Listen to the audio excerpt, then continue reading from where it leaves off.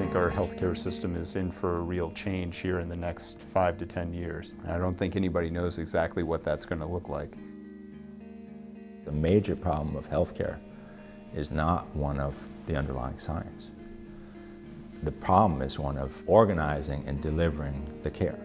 The potential for bringing management and business research and knowledge together with what TDI knows about the way care is actually delivered and the way they study it. And then in, into that mix you take Dartmouth's uh, commitment to learning excellence and to doing educational programs at the very highest level. Um, not only tremendous capability and potential for understanding what happens out there in the world, but, but for improving it. This is the standard of care, absolutely. Okay, here you go, Horace. On, on five, we can start off. Now, in this particular line, teaching is outstanding. I just felt that it was very personal, very relevant, and very current in the style. I think that's part of the reason why Tuck has such a great reputation is the ability of the professors to engage and get students to learn on a different level. Something looks odd if we compare the standard of... Dr. Shumsky really energized me and really made me want to delve into the material and I think I saw evidence of that the next day when I went on to the virtual learning environment and suddenly realized that a bunch of my classmates had already started doing problem sets that were due in four or five days. The hybrid learning mode is really conducive to being able to fit it into your schedule and being able to personalize it. It's a fantastic opportunity to learn while you're practicing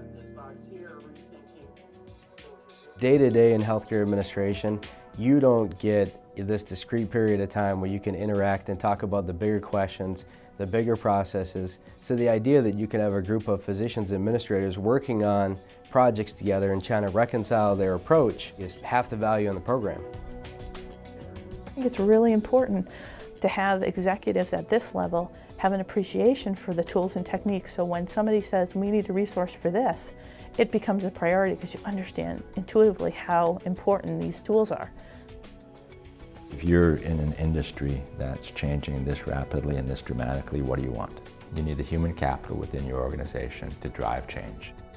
Learning a common language that we can communicate with the um, business decision makers on one side and the patients on another um, will really tighten up the process. It's not always going to be an easy way to do it just through national legislation or a big overarching change. And I think there's some imperative upon each institution to create some of that change. You want smart people who can say, this is where I think we should be positioned because it's going to maximize our options, and this is how we're going to get there, and I'll lead us there. My dad has always told me that there's two things you can do in life. You can either sit on the sidelines and complain, or you can go out and actually do something about it.